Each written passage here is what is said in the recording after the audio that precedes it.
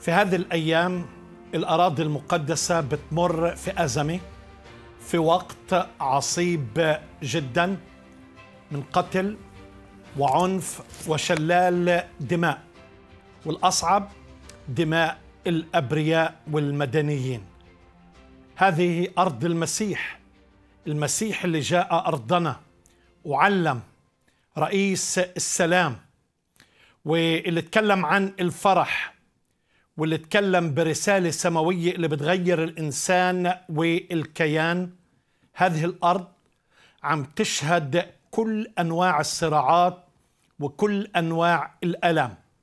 ليس فقط في الأراضي المقدسة ولكن عم نسمع في كل مكان.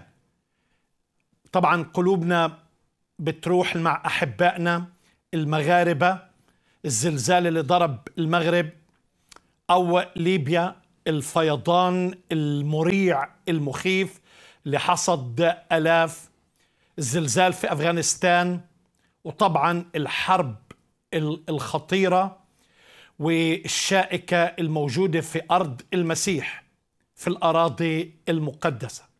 في البداية بحب أقول لكل الأحباء اللي فقدوا أحبائهم ربنا يعزيكم ربنا يقويكم ربنا يشجعكم وبصلي فعلا انه الله يرسل سلامه العجيب في قلوبنا وحياتنا اولا والرب يرسل سلامه إلى هذه الأرض المتمزقة اللي بتعاني من كل أنواع الصراعات الدينية الطائفية السياسية.